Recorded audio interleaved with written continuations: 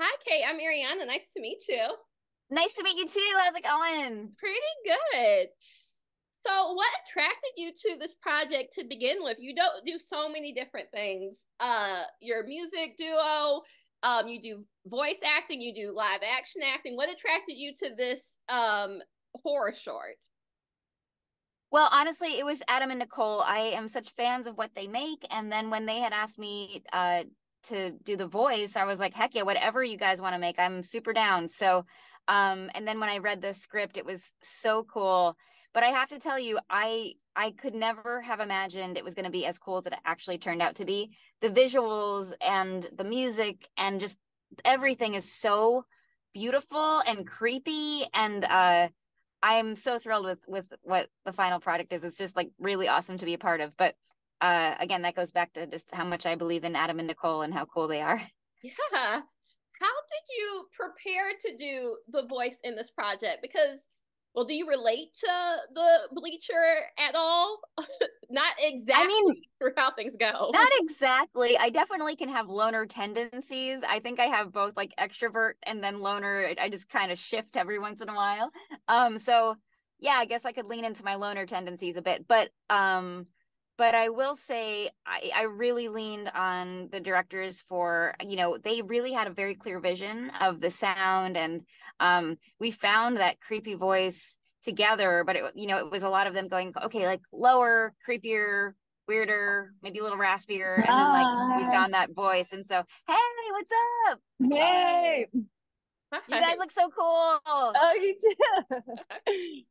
So we were just talking about how Kate um and you guys decided on the voice for the character. Um, why did you want it to be a bit lower and creepier compared to Kate's natural voice? Um, I think it just matched the character really well. And when we brought the idea to Kate, she tapped right into it. It was like magic. How did you guys come up with the idea? Because it was very much different than expected. I didn't know what to expect, but I didn't expect that, if that makes any sense. yeah, you're not alone. I mean, it's it's been it's you you either love it or you you have to think about it. Where did you guys um kind of come up with that idea and concept of something that kind of happens to everyone, a lost sock, but then connect it to this way darker past? Yeah, I mean, it was based off of our experience at a local laundromat in Los Angeles. Not having laundry amenities led us to this uh, divine project. um, and we used to just track the the locals at this laundromat by recording audio and just kind of like seeing what they're up to. And um, over time, it, you know, we we really fell in love with this this uh, this person that's so beyond our our expectations of what you know what we were going to do with this project. We were just fascinated by this lady, the bleacher, and we just started tracking her psyche. And it, one thing led to another, and of course, we had to use the endless medium of animation to tell the story. Um, and from there, we turned our our experience of of laundry into um, a story that's relatable by where do your missing socks go? Yeah. And I kind of guess what the backstory is about laundry because laundry mats, even though it's something that like we, we all have to wash our clothes, it does feel like kind of like a creepy experience to see someone like launder their clothes. Like it feels like a little too personal in a way. That's so true. I always feel that way about looking into people's grocery carts. I, you know, it's like you really yes. get a glimpse of their life. Yeah. yes. Why did you guys decide on this style of animation?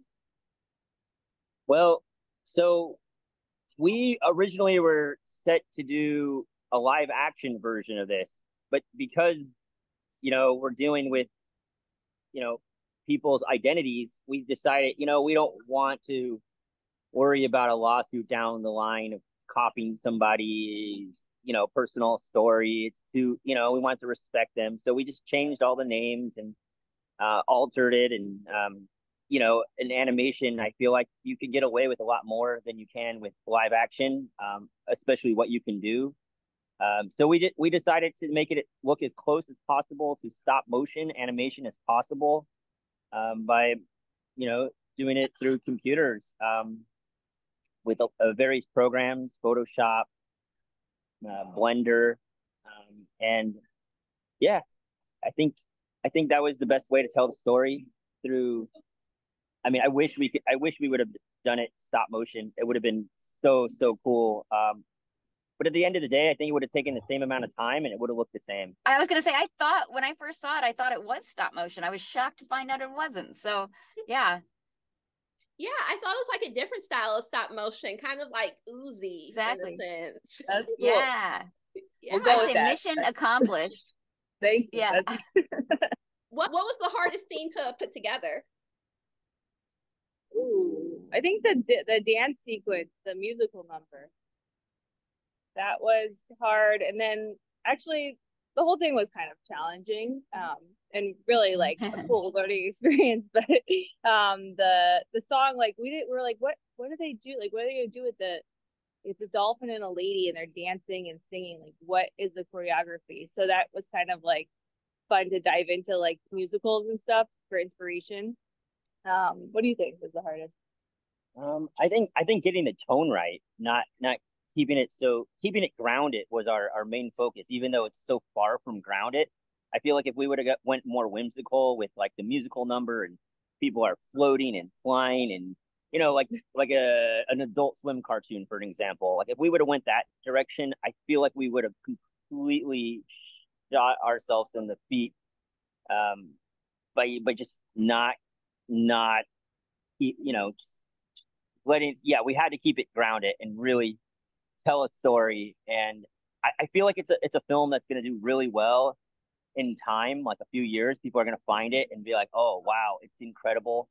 Um, right now, I feel like it's it's going to take the viewers a little time to digest. Personally, um, I feel like for myself as well. Like, but I mean, we we love it, but I just thought I would be honest and tell you how I really feel. I appreciate it. Kate, you have a musical background. How do you kind of connect music to each character you play and voice? You know, I think I read a script like I read music, and it took me a while to realize that. But I grew up playing classical piano, and um, I think I I really like in in a way look at a script in like it is music. Um, but I you know it wasn't a conscious decision, but as I've been doing this for a while, I, I kind of put that together like, oh yeah, like I see the dynamics and where where things go and you know, I where to pause and all that stuff. So um and obviously it's not just that clear cut, but um but yeah, I think I'm I'm grateful for my classical training. Um and also with that the rehearsal process of like run it, run it, run it, run it.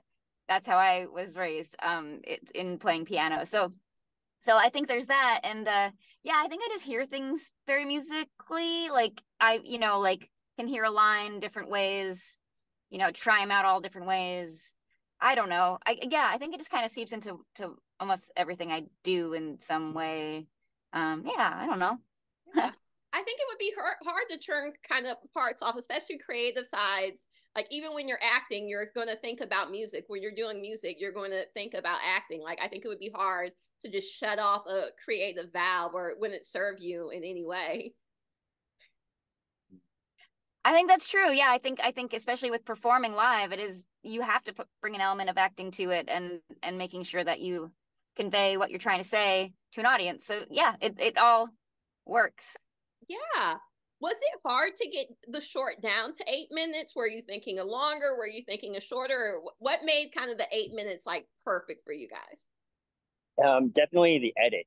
Um, yeah, I mean, originally it was 15 minutes, and we did not want to overstay our welcome. Mm-hmm. And I feel like this, we get out just in time to tell our story, um, and and really and really, um, I, I think I really, I, I really wanted the me. Yeah, I think the music um was was very strong in this in this project, and without music, with those other five, six, seven minutes, I feel like we would have yeah, we would we would have it would have fell a little flat. So we wanted people to, to walk out kind of wanting it to remember the song.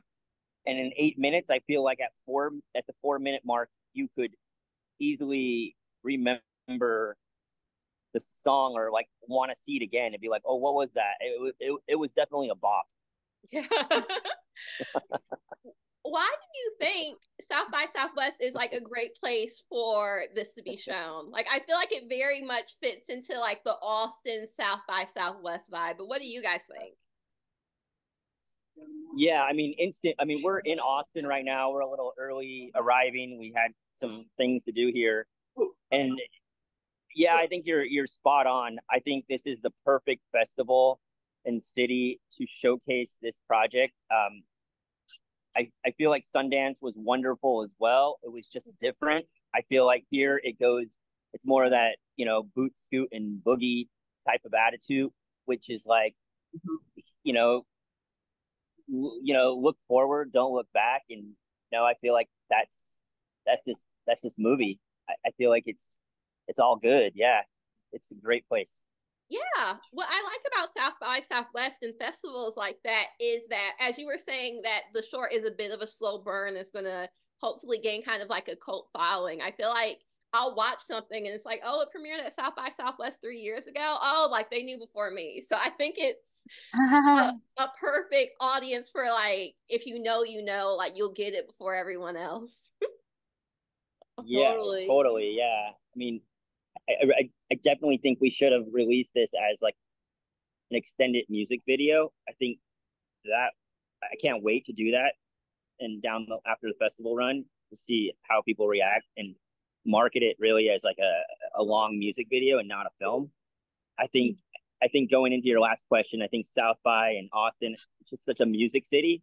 So again, music is such our vibe making films. It's just like how we think and how we write and how we see the world. So, yeah, we can't wait to see what happens. Um, yeah. Yes. Well, thank you so much for taking the time to talk to me about this. I was excited to talk to all of you guys, and I hope to meet you guys soon and probably talk about this and other projects more. Thank you, thank so, you so much. much. Yeah, thank, thank you. you. Also, you had really awesome questions. Thanks for that. Oh, yes. thank you. I really appreciate that. Yeah, thank yeah. you. It's a great interview. Yeah, yeah, yeah.